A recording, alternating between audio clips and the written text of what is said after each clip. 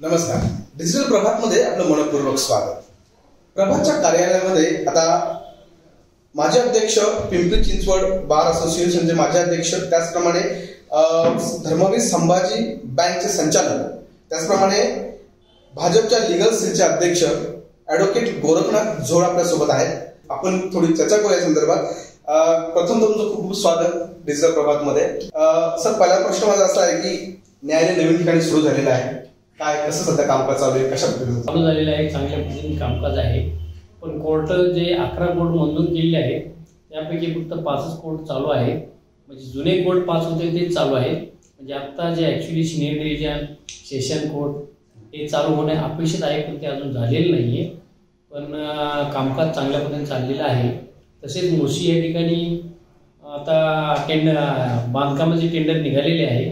यासाठी सर्वोत्कृष्ट प्रयत्न माजी कैलासवासी माजी आमदार मा- कैलासाचे आमदार लक्ष्मण जगताप यांनी केलेले प्रयत्न त्यानंतर महेशदादा लांडगे यांनी केलेले प्रयत्न तसेच अण्णा अण्णा बनसोडे आमदार अण्णा बनसोडे यांनी केलेले प्रयत्न. हे सर्वांच्या प्रयत्नांनी आज रोजी कोर्टाचे कामकाज बांधकाम चालू होत आहे. आणि ते त्यासाठी सर्व माजी अध्यक्ष विद्यमान अध्यक्ष या सर्वांनी सर्वतोपरी प्रयत्न केलेले आहेत. त्या प्रयत्नातून हे कामकाज चालू होत आहे व होणार आहे. खरं तर सर तुम्ही धर्मवीर संभाजी बँकेचे संचालक आहात. त्यातून एक प्रश्न असा की सहकार बँकिंग क्षेत्राला सहकार खात्याचा काय कसा लाभ होईल? सहकार क्षेत्रामध्ये काही दिवसापूर्वी ऍक्च्युली आरबीआय. आरबीआयचं कंट्रोलिंग अथॉरिटी एवढं जोरा मोठ्या प्रमाणात प्रत्येक ठिकाणी सर्क्युलर जी काढत होते त्याचं काही अंशी ज्यावेळेस अमित शहा यांनी सहकार खातं स्थापन केलं त्यानंतर काही अंशी आर बी आयने कंट्रोल केलेले आहे. आर बी आयने आता सहकारी बँकांच्या विषयी आय तसं नाराज होतं. आयच्या मनाप्रमाणे सहकारी बँका बऱ्याचशा कमी करून कमीत कमी सहकारी बँका कशा राहतील याकडे आर बी आयचं लक्ष आहे. परंतु त्या कामी केंद्रीय म- सहकार मंत्री अमित भाई शाह यांनी बऱ्यापैकी सहकार क्षेत्राला चालना देण्यासाठी भरपूर प्रयत्न करत आहेत त्यामुळे निश्चितपणे बँकेला भविष्यात चांगल्या अडचणीपासून फायदा होईल. ओके. तर तुम्ही पेशंट वकील आहात आणि भाजपचे लिगल सेलचे तुम्ही अध्यक्ष आहात. सर तुकडेबंदी कायद्याचं परिपत्रक आलं पुढे त्याचं काय झालं? जे परिपत्रक काढण्यात आलं.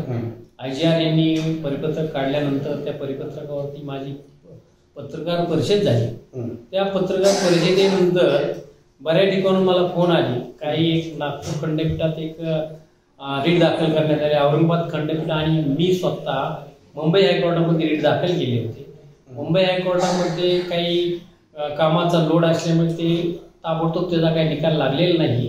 परंतु औरंगाबाद हायकोर्टामध्ये जो निकाल लागला त्या निकालावर सरकार परत रिव्हिजनमध्ये गेले. रिव्हिजनमध्ये पण सरकारच्या विरुद्ध निकाल झाल्यानंतर सरकार परत आहे सर्वोच्च न्यायालयात गेलेलं आहे. सर्वोच्च न्यायालयाने आता एक महिन्यासाठी स्थगिती दिलेली आहे. पण निश्चितपणे तुकडेबंदी तुकडे जो कायद्याप्रमाणे निश्चितपणे तो कायदा का- सर्वोच्च न्यायालय आमच्या बाजून निकाल देईल व सर्वसामान्यांची कामं होतील अशी अपेक्षा आहे. तर जवळ असा एक प्रश्न आहे की नुकताच साते बाबत एक नवीन निर्णय आलेला आलेला आहे काय त्याबद्दल काय सांगाल? मी प्रथमतः सरकारचे स्वागत करतो. निश्चितपणे चांगला निर्णय आहे. परंतु हा अंतिम एखाद्याची कुठल्याही साठेखतावरती किंवा नोटरीच्या कुलमुक्त्यारपत्रावरती नोंद झाली तरी ती कायदेशीर आहे असं मला वाटत नाही. कारण ती खरेदी खत होणं गरजेचं आहे. मग सरकारने या गोष्टीकडे लक्ष द्यावं की प्रत्येक ठिकाणी खरेदी करण्यासाठी सरकारने I G R I G R ऑफिसमध्ये किंवा नोंदणी कार्यालयात काय त्यामध्ये बदल करता येईल ते बदल करावे व प्रत्येक खरेदीखत नोंदवण्यास परवानगी द्यावी. म्हणजेच जे आता अडवणूक करता एका बाजूने सरकारने आय जी जे आय जी आरने आर काढून बंद केलं दुसऱ्या बाजूने सरकारने सांगितलं की आम्ही साठेकर्त्यावरती नोंदी करू पण तो अंतिम नाही त्यांनी पार कायदेशीर पारदर्शकता होत नाही. त्यामुळे हा निर्णय बरोबर असला तरी माझ्या दृष्टीने चुकीचा आहे. खरं तर खूप चांगल्या पद्धतीने प्रश्नाचे उत्तर दिले त्या ठिकाणी आणि आम्हाला वेळ दिल्याबद्दल खूप खूप धन्यवाद आणि तुम्हाला गणेशोत्सवाच्या खूप खूप शुभेच्छा. डिजिटल प्रभासाठी मी प्रफुल्ल पिंपरी चिंचवड.